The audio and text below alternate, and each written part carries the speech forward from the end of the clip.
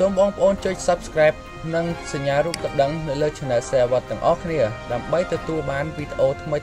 ប្លែកៗជារៀងរាល់ថ្ងៃបេសកធំ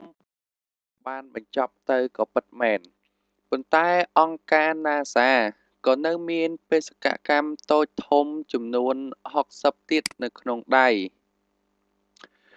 ខណៈមួយរយៈចុងក្រោយនេះមានដំណឹងថា យានអវកាសមួយចំនួនបានគាំងដំណើរការមួយពេលខ្លី ខ្លះនៅមិនទាន់អាចតាក់ទងបាន ហើយបេសកកម្មធំធំចំនួន2បានឈានដល់ទីបញ្ចប់ថែមទៀតនោះ ប្រហែលជាមានអ្នកព្រួយបារម្ភច្រើនជាក់ជាមិនខានថា វាដូចជាពុំសូវមានរឿងល្អល្អកើតឡើងនៅក្នុងវិស័យអវកាសសោះឡើយ នេះបើតាមការដកស្រង់ការផ្សាយចេញពី website spec.com នៅព្រឹកថ្ងៃច័ន្ទទី5ខែវិច្ឆិកា ឆ្នាំ2018នេះយ៉ាងណាមិញ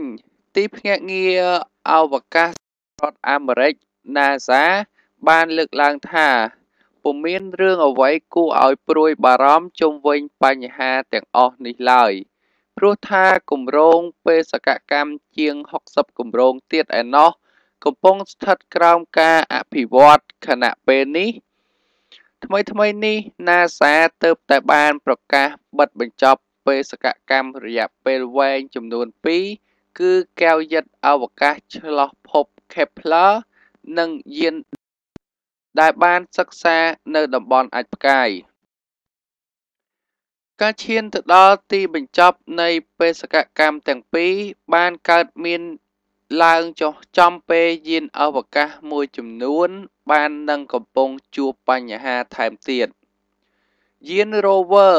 នៅលើភពអង្គារនៅតែមាននៅតែពុំមានការឆ្លើយតបចិត្ត5ខែហើយ ចាប់តាំងពីវាត្រូវបានក្រោតដណ្ដប់ដោយព្យុះធូលីនៅលើដែនដីនោះ រីឯកែវចិត្តអវកាសហូបលី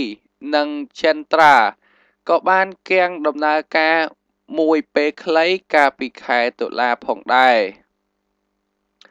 គួរជម្រាបដែរថាទន្ទឹមនៅពេលដែលបេសកកម្មធំធំចំនួន2បានបញ្ចប់ទៅក៏ដោយ បេសកកម្មផ្សេងទៀតរបស់ NASA បាននឹងកំពុងចាប់ផ្ដើមប្រតិបត្តិការរបស់វាជាបណ្ដាបណ្ដាទៅហើយដែរតួយ៉ាងដូចជាកោយិតអវកាស GESS ដែលជាអ្នកបន្តវេនពី Kepler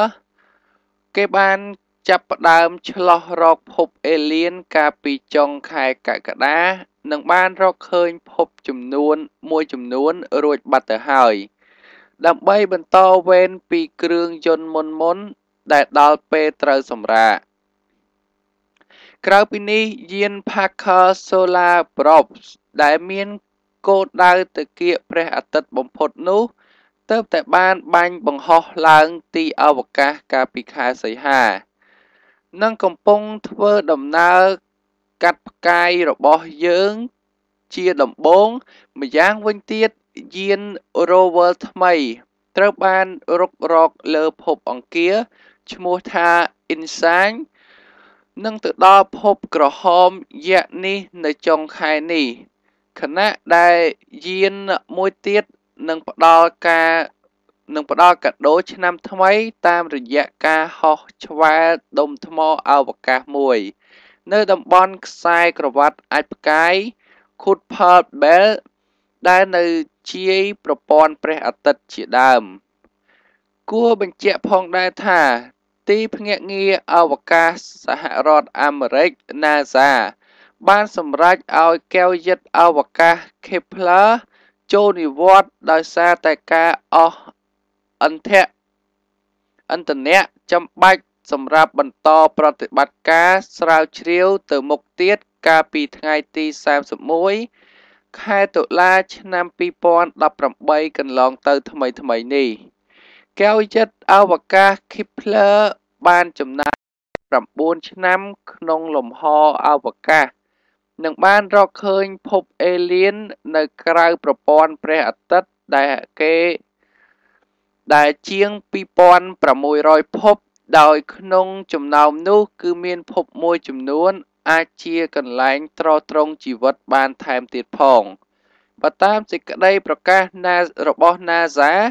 កែវយិត្តអវកាសនេះនឹងចូលនិវត្តន៍នៅក្នុងកន្លងគួចសវត្ថិភាពបច្ចុប្បន្នរបស់វា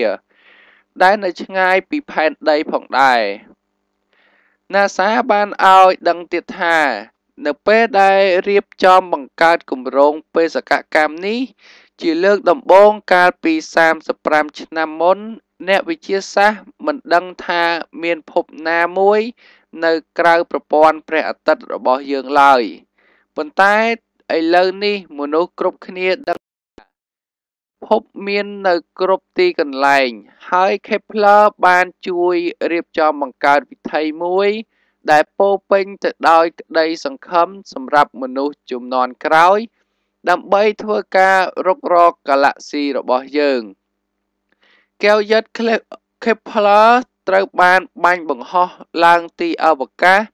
កាលពីថ្ងៃទី6ខែមីនា ឆ្នាំ2010បាទសំទោសឆ្នាំ2009ដែលមានការបំពាក់នៅបច្ចេកវិទ្យាទំនើបទំនើប ក្នុងការវាស់ស្ទង់កម្រិត ពន្លឺរបស់ផ្កាយរួមជាមួយនឹងកាមេរ៉ា Digital ធំបំផុតនាសម័យនោះ ដែលស័ក្តិសមល្អឥតខ្ចោះសម្រាប់ការអង្កេត នៅក្នុងទីអវកាស សម្រាប់គ្រឿងយន្តអវកាសមួយទៀតនោះគឺ Dan